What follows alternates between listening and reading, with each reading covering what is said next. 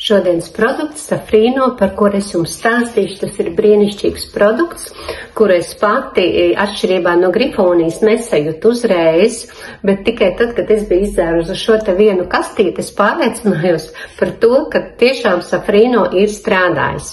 Safrīno sastāvā ir trīs komponentes. Tas ir safrāns, tas ir mioinozitols un tas ir cinks. Safrāns jau kopš senatnes ir palīdzējis daudziem cilvēkiem pie psihiskiem traucējumiem. Kā jūs zinat, safrāns ir pati dārgākā garšviela pasaulē. Un safrīno sastāvā ir iekapsulizēts safrāna stigmas ekstrakts iekapsulizēts. Ko tas nozīmē? Tas nozīmē, ka tas satur desmit reizes vairāk aktīvās vielas kā neiekapsulizēts. Un šis te iekapsulizētais safrāna ekstrakts, ko viņš darīs? Viņš par 50% palēninās serotonīna, kas ir laimes hormons sadalīšanos, tātad serotonīns ilgāk saglabāsies mūsu organismā un par 44% e, palēninās kortizola izstrāde organismā. Kortizols mums ir stresa hormons. Tātad veicinās šo te serotonīna veidošanos un saglabāšanos mūsu organismā.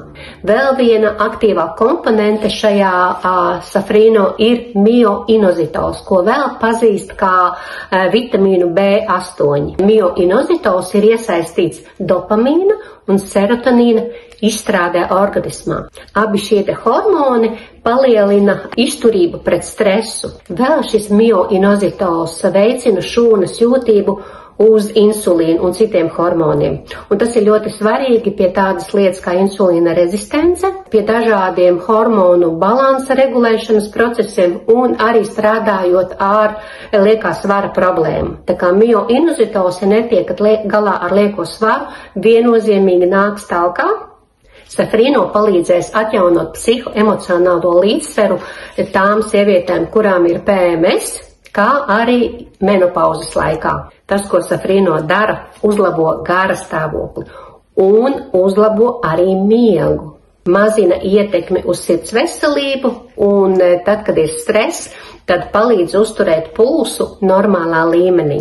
Ļoti iesaku pamēģināt šo produktu, jo iespējams tieši safrīno būs tas, kas dos jums ikdienā mieru un kvalitatīvu miegu. Man viņš ļoti, ļoti patīk.